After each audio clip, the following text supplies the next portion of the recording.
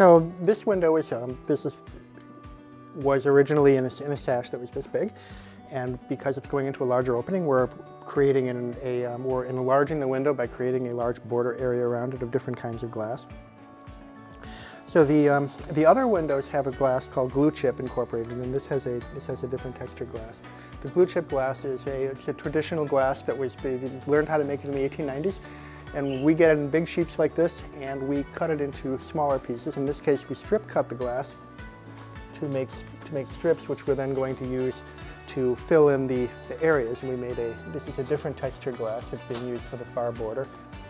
What I'm going to be doing here is cutting, and I've, I have made about three quarters of this window completed, and I'm going to be moving through it and finishing off the last pieces. So what I do is I have strips of, the strips of lead come in six foot strips like this. They're six feet long, and we cut them down to create pieces that are the size of the, that we need and have the angles that we need so that they come together. And when we solder them, they're going to, they're going to completely come together and have no gaps in them. So what I'm going to do here is I'm going to, I'm going to cut pieces and install them and cut pieces of glass to size to, to finish off the window.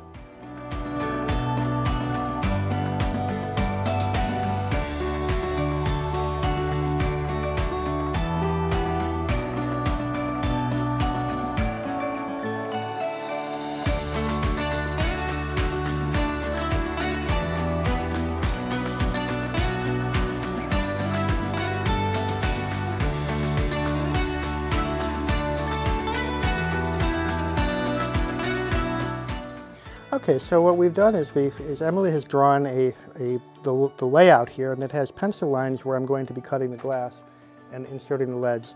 So what I've done here is I've taken one of my long strips and I've set it down in place, and I'm now using a marker to mark exactly where I'm going to make my cut. It's a little dot. And then I take it out and I come over to here, and I use the glass cutter to cut through the dot.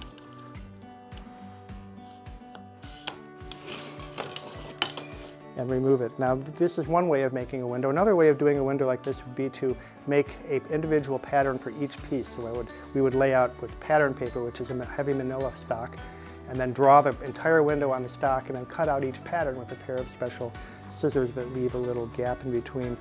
If we did that, and that's how, that, that's how the middle would have been done because that has many, many pieces and it would be very hard to hand cut them without doing that.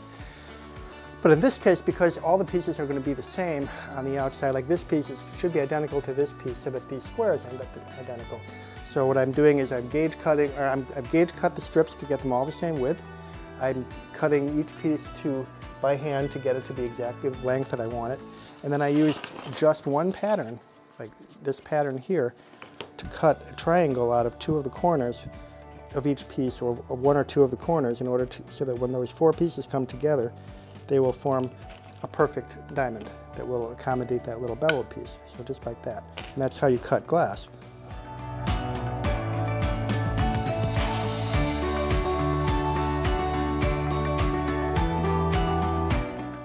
So the next, the next stage is that we have to make, this piece here has to be cut, over here has to be cut to length, and it, it has to be cut to the exact length that will meet with these two pieces. So what I've done here is I've cut a 45 degree angle. I'm going to set that in place and where that point touches the lead is exactly where I'm going to make my cut. So I now make a, I make a score line with my lead knife. I take this piece out that's now got a mark on it and I go over to our little saw. I then use the little saw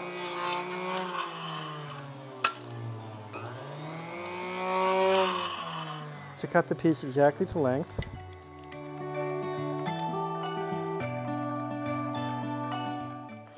Put it in place.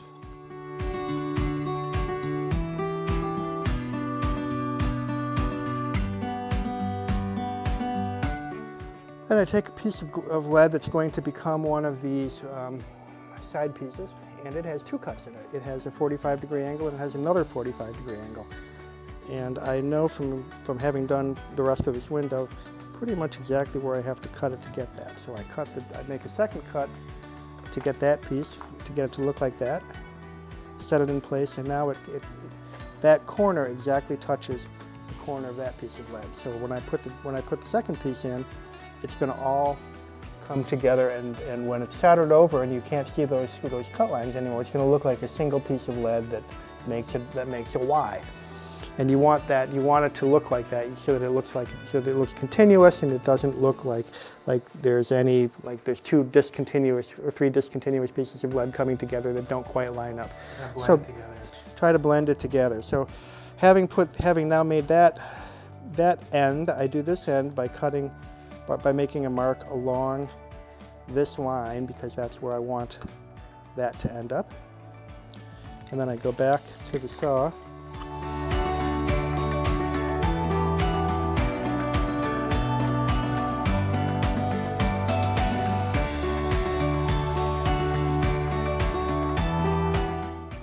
now that piece fits in there exactly right. So the, as I do this all day long, you get you, you, get into, you get into a rhythm doing it, and then you're able to eventually do it at speed.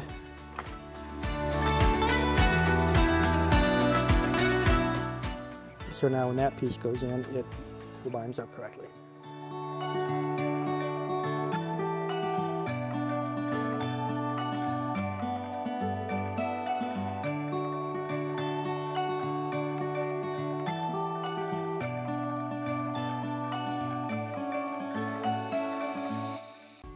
You build it as you go, each piece becomes interlocked. So you, if you have to take something apart that's in the very middle, with, to do it right, you have to take the window apart from the edge to get to that piece, and then when you're done, you have to put it back together again and reassemble it. So large, having a break in the middle of a large window can be very difficult and expensive to replace having a break on the like if a, if a border piece were to break, that would be not so that would be not such a big deal because you could take the window and just remove that outer piece of lead, replace that one piece, and put it back in. So yes, I would have to I have to get to the piece by taking it apart from the from the um, outside in.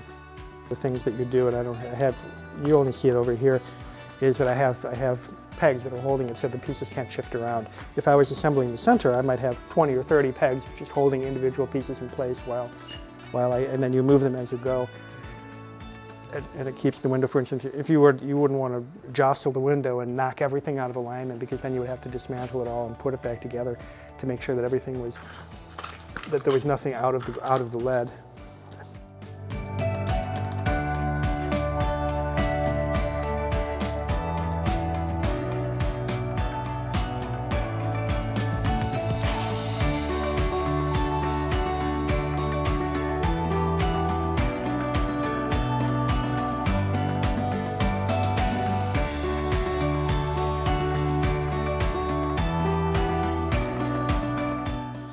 So I now have those I now have those four pieces in there and I inserted my bevel. So I then move on to the next piece. It was very dirty. A lot of dirt came off. It cleaned up really nicely. I was happy to see that, especially the, the border. A lot of the time there'll be, and this was no exception, the, the border will have gotten paint on it over the years and the dirt, when the, when the rainwater lands on the window, it goes down and it accumulates and it dries on the bottom border. So sometimes that will actually stain the glass in a way that can't, that's irre irreparable. But in this case, it all, you we were, we were fortunate and all of that crud and dirt came off pretty easily. All right, so I'm now ready to cut the next piece here. Going to get my um, my piece of uh, my strip of glass. And in order to get the right length, I have to take out that bevel that I just put in.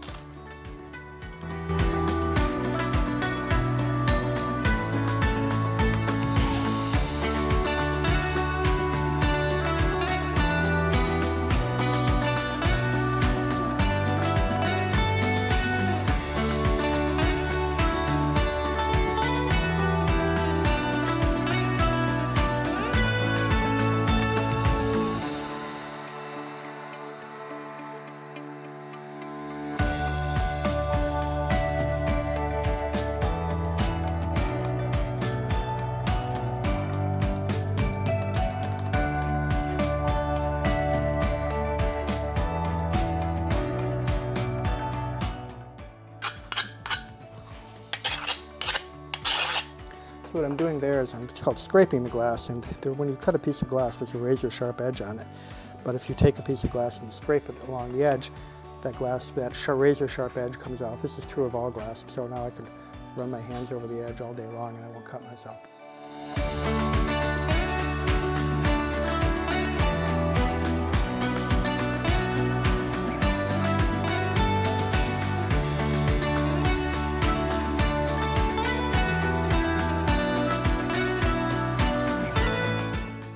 Okay, so the next thing I'm going to show here is what we call tucking the lead. And if pieces of lead come together like this, one abutting the other, and you put solder, and then the solder acts as a bridge and it, it, sort of glues them together by melting and forming a pool of molten metal on top, which then hardens and, and glues it together. But you, it's possible to make the window a lot stronger, and the way you do that is that you take the ends of the pieces and you tuck them into the lead so that they, when the solder is put on, it's sort of, it, it's, it, the one is inside of the, one end is inside of the other, and it makes a much, much stronger joint. And here's how we do that.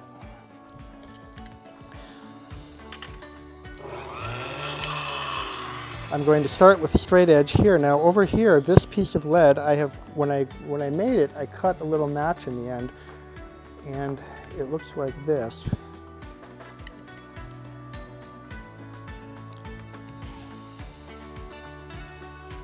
I made a little V and I then pinched the end down. And that was anticipating that that is going to be inserted into another piece of lead like this. So now that, that I've done that to that joint, and I now come over here and I use this sophisticated specialized tool called a Sharpie to um, open up the lead a little bit. So that bends pretty easy. That bends really easy. Yeah, the lead is very easy to bend. It's very flexible. Like here's a piece of lead, it, it can just bend like that. Oh, wow. And it's, um, that's, that's lead. It's very, very soft. Now, you've, obviously I didn't bend it very well there, but if you were bending curves, you, you, there's ways to get it to bend smoothly. So in this case, I now, I now pick up this lead a little bit and I, and I push that into place. And then I use a piece of, I use a piece of block, once again, sophisticated tool. This is a Jenga block. And I tap it into place and I can then press it down. And now this piece of lead is tucked into that piece of lead. And when I go to solder it, it will, it will be much stronger. And you do that when you can for a window. You can't always do it. It would be too difficult to do it for these um, these joints, but for these, they're all tucked in when they, and they look a little bit wonky, they look a little bit uneven, but when the window is finished and soldered, you'll see that they, and cemented, you'll see that they, they look great. They look like, they call that basket weaving because it looks like a, like fabric, like, like uh, threads in a fabric that go in, over and under each other. And so that's a, that's a, a nice method to strengthen the window and give it some make it look really nice visually as well. So now that I've, I've got that ready, this piece fits right in, fits like a glove.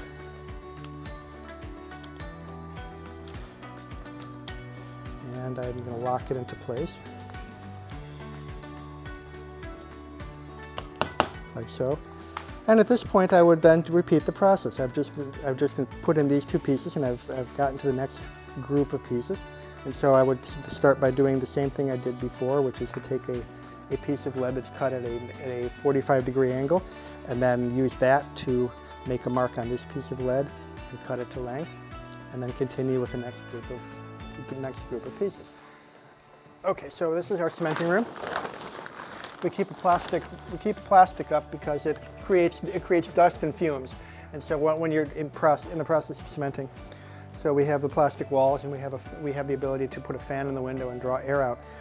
So when you assemble a window, you have pieces of lead and glass, but you don't have um, an airtight seal. The, they're loosely put together and air could and water could flow around them and you would, your room would quickly get cold. So what we do is in order to make the window completely sealed and airtight and a lot stronger is we do what's called cementing. And we make, the way that works is that uh, what Vicki is doing is she's stirring up the bucket of cement, and the cement is it's made of linseed oil, turpentine, and whiting. It's a traditional formula that's been that goes back hundreds of years. And uh, whiting is just chalk dust, or it's uh, limestone powder. So she's mixing that up, and what we what you do is you you put the window down on the bench, and you pour the cement onto the window, and then you use a brush like a um, this type of scrub brush to push the push the cement under the leads and then let it clean it off and let it cure. And when it cures, it will harden up and it'll form like a rubber-like a gasket that will last for many decades, and that will seal the window, waterproof it, and put a lot of strength into it. So in this case, when we wanted these windows are going to just go back into their original frames, but in order to eh, in order to sort of sort of a preventive 12-month multi-decade. You do this about every 40 or 50 years, but it's sort of like a, preventive maintenance on the window that strengthens it up. And over time, the cement dries out, the linseed oil dries out, and it turns into powder. And so you end up with powder flaking down, and it doesn't look very good. This makes the window essentially look like it did when it was first when it was first built. It cleans the window, it, it gets rid of any loose powder, and it and it re um, it, it re-strengthens the window. We've done one side of this window. The other side is, so you can see on this side, it, it, part of the process of depend is that it the, the leads are all very consistent. Where it's been soldered, it's a little lighter. That's normal. I'm going to flip the window over to show you that on the other side here, the beveled side, we haven't cemented it. It's, it's got a different look. It's a lot shinier, but there's also corrosion around the edges of the lead. And there's also paint that's around the edges here. That This paint has been softened up by, by soaking the window in a detergent. And when the window is cemented, that's going to all break up and come off. This is going to be, the corrosion is going to be cleaned up and, the, and the, any, any anomalies in the window are going to be taken care of. If you if you, I don't know if you can focus in, but you can see that there are some little bits of um, cement that have come through, little bits of um, bleed through. And that means that there was, a, there was a gap and the gap is now filled. And we're going to do the same thing to this side as the other side and it'll, it'll essentially make the window look like it, like it looked when it was brand new. This is the replica window. This, was, this is made with all new glass. We had the, the bevels were made by a bevel maker. They were all handmade on a, on a grinding wheel with a, and hand polished. The, this ripple glass is a modern reproduction of this vintage ripple glass. One of the Kokomo glass company had a calling, they someone had a lot, had a project where they needed to reproduce this and it hasn't been made in decades. And they commissioned making a glass roller to reproduce this texture. And because of that, now the stained glass restoration world has access to this texture. You can buy sheets of it, and that's what we used here. It's indistinguishable from the original um, including the color too. It just came out. It's so there's you would be hard pressed to find a difference between this. The only difference that I can really see is that in the reflected light, I see just a just a little bit of difference in the color. This is a little more greenish amber, and this is a little more blue. But that's because of the glass, the thick glass that was used, and the fact that when glass is that thick, even tiny, tiny amounts of iron or other impurities can slightly affect the color. But other than that, this is the, you would be, when, this, when these are next to each other in the light with the memorial window in the middle, you'll be, you'll ask people which is the original and which is the reproduction, and it, no one will be able to tell you.